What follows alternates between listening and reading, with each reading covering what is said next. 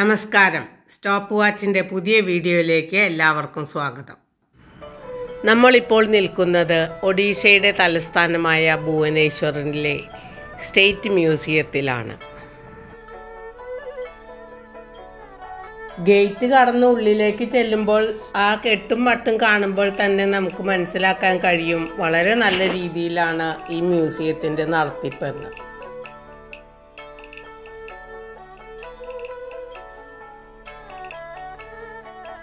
ഞങ്ങൾ അവിടെ ചെന്നത് ഓഗസ്റ്റ് പതിനാറിനായിരുന്നു. സ്വാതന്ത്ര്യദിനത്തിന്റെ കൊടിതോരണങ്ങൾ അപ്പോഴും തൂങ്ങിക്കിടക്കുന്നുണ്ട്. മ്യൂസിയത്തിന്റെ ഇടത്തുവശത്ത് റോക്ക് ഗാർഡൻ എന്നറിയപ്പെടുന്ന പൂന്തോട്ടത്തിലേക്കാണ് ഞങ്ങൾ ആദ്യം കയറിയത്. കയറി ചെല്ലുന്നിടത്ത് തന്നെ ഗൗതമ ബുദ്ധന്റെ മനോഹരമായൊരു ശില്പം. അപ്പുറത്ത് മാറി നർത്തകിയും നർത്തകനും.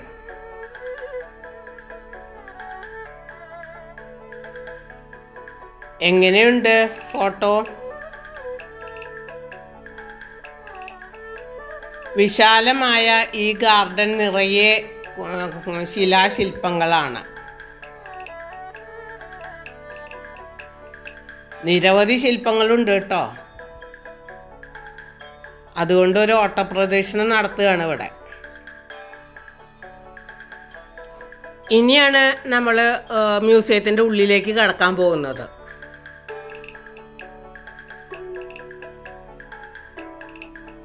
ഡ്രോയിങ് റൂമിൽ തന്നെ ആറു കൈയുള്ള നൃത്ത ഗണപതിയുടെ വെങ്കല ശില്പം ഒറീസയുടെ മുൻപത്തെ തലസ്ഥാനമായിരുന്ന കട്ടക്കിലെ രണ്ട് കോളേജ് പ്രൊഫസർമാർ ആയിരത്തി തൊള്ളായിരത്തി മുപ്പത്തിരണ്ടിൽ ചെറിയ നിലയ്ക്ക് ആരംഭിച്ച ഒരു പ്രസ്ഥാനമാണ് ഇന്നത്തെ സ്റ്റേറ്റ് മ്യൂസിയമായി വളർന്നു വികസിച്ചത്. രാവൻഷാ കോളേജിലെ പ്രൊഫസർ എൻ സി ബാനർജിയും പ്രൊഫസർ ഘൻശ്യാം ദാസുമായിരുന്നു ആ കോളേജ് അധ്യാപകർ.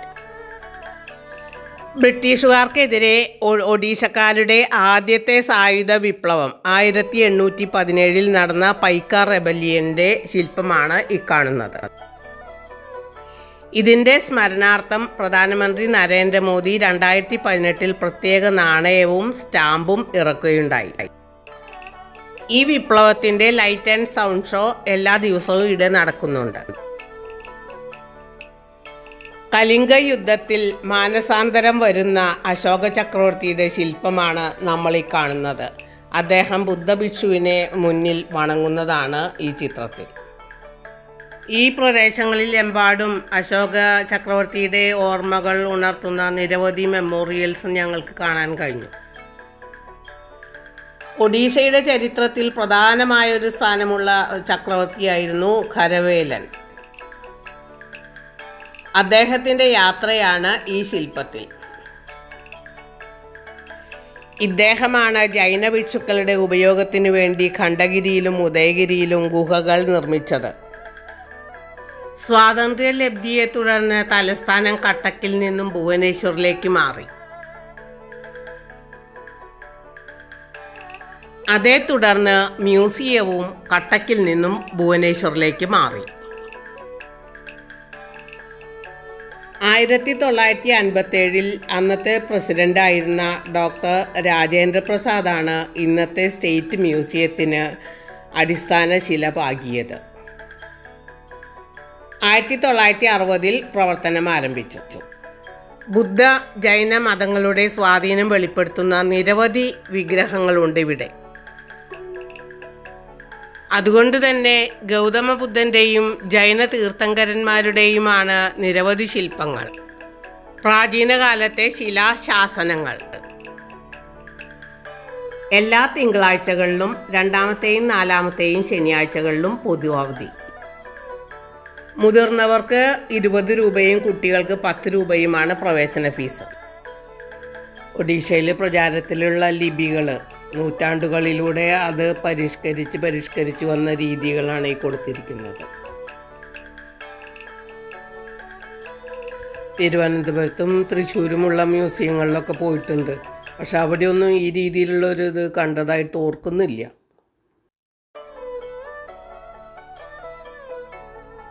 പല രീതിയിലുള്ള ശിലാലിഖിതങ്ങളാണ് കാണുന്നത്.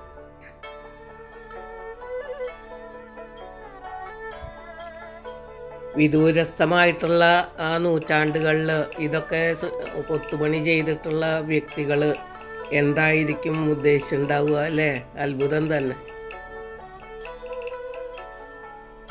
ഇതിൽ ഇതിൽ കൃത്യമായിട്ട് ആ നൂറ്റാണ്ടുകൾ അനുസരിച്ചിട്ട് ഓരോന്നിലും വലിയ വന്ന വ്യത്യാസങ്ങൾ കൊടുത്തിരിക്കുകയാണ്.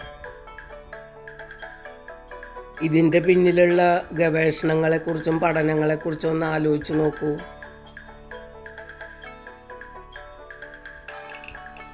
ഇത് ക്വീൻ വിക്ടോറിയ. ഉത്കലാമണി പണ്ഡിറ്റ് ഗോപബന്ധുദാസ്. ഒഡീഷയുടെ പണ്ടുകാലത്തെ പേര് ഉത്കല എന്നായിരുന്നു. ദേശീയഗാനത്തിലെ വരികൾ ഓർമ്മയില്ലേ? ദ്രാവിഡ ഉത്കല വങ്ക. അന്നത്തെ പാത്രങ്ങൾ ഒരു കുഞ്ഞിനെ ഒക്കിലും ഒരു കുഞ്ഞിനെ കയ്യിലും പിടിച്ചിട്ടുള്ള ഒരു അമ്മയുടെ രൂപം. ഉപയോഗിക്കുന്ന വസ്തുക്കളിലെല്ലാം ചിത്രപ്പണികൾ ചെയ്യുന്നത് ഇവിടുത്തെ ഒരു ശീലായിരുന്നു പണ്ട് കാലത്ത് ഉപയോഗിച്ചിരുന്ന നാണയങ്ങളാണ് കാണുന്നത്.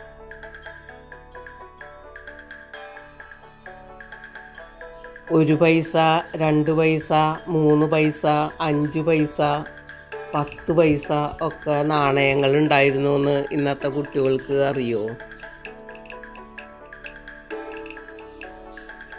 എനിക്ക് ഓർമ്മ വെച്ച കാലത്തൊക്കെ നമ്മുടെ ബസ്സുകളിൽ മിനിമം ചാർജ് പത്ത് പൈസയായിരുന്നു. മണിക്കൂറിൽ ഒന്നോ രണ്ടോ ബസ്സുകൾ മാത്രം ഓടിയിരുന്ന കാലമായിരുന്നു അത് കേട്ടോ.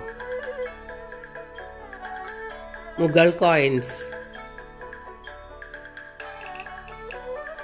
അന്ന് ഉപയോഗത്തിലിരുന്ന ചങ്ങല വിളക്കുകളാണ്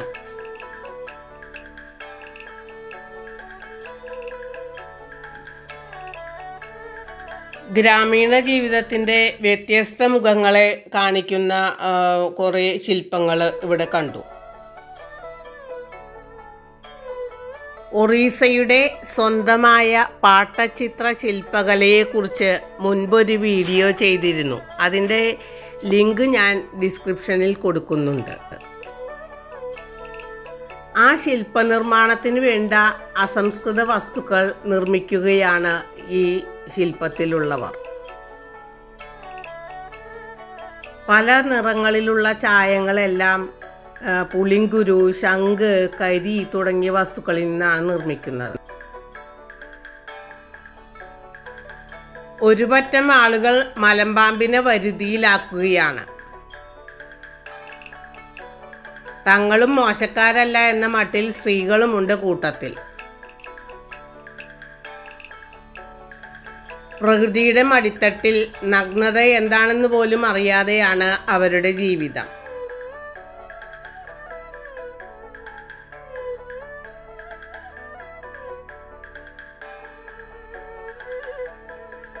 പലതരത്തിലുള്ള സംഗീതോപകരണങ്ങൾ.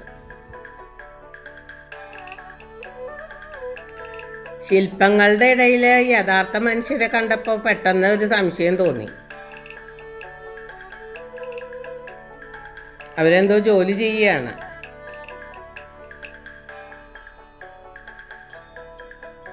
ഹോളുകളെല്ലാം തന്നെ ശീതീകരിച്ചതാണ്. ഈ ഹാളിൽ നരസിംഹം വരാഹം തുടങ്ങി ദശാവതാരത്തിലെ ശില്പങ്ങളാണ്.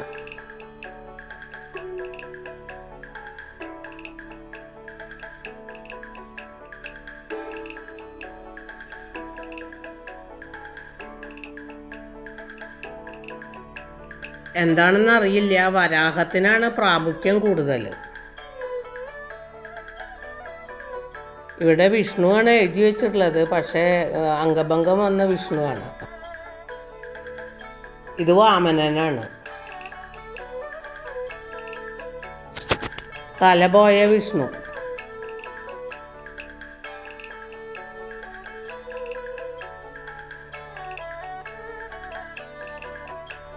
ഒഡീസി നർത്തകിമാർ.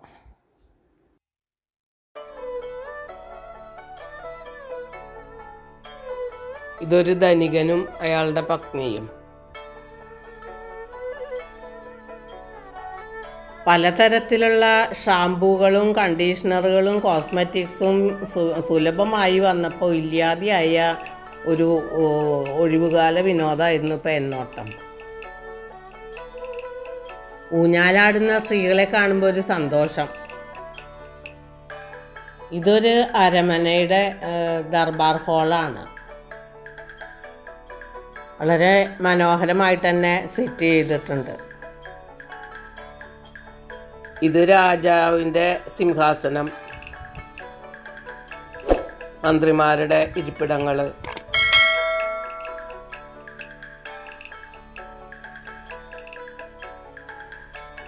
അംഗരക്ഷകർ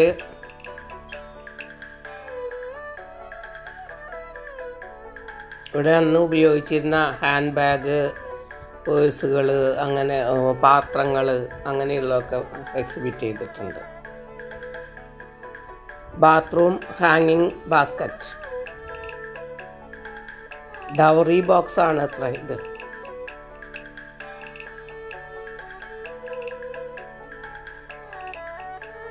ഇത് ജ്വല്ലറി ബോക്സ് ഈ വീഡിയോയെ കുറിച്ച് നിങ്ങൾക്കുള്ള അഭിപ്രായങ്ങൾ കമന്റ് ബോക്സിൽ പങ്കുവയ്ക്കുമല്ലോ. ചാനൽ ഇതുവരെ സബ്സ്ക്രൈബ് ചെയ്തിട്ടില്ലാത്തവർ ഒന്ന് ചെയ്യുകയും വേണം. ഇനി മറ്റൊരു വീഡിയോയുമായി വീണ്ടും കാണുന്നതുവരേക്കും ഗുഡ് ബൈ. ശ്രീലത.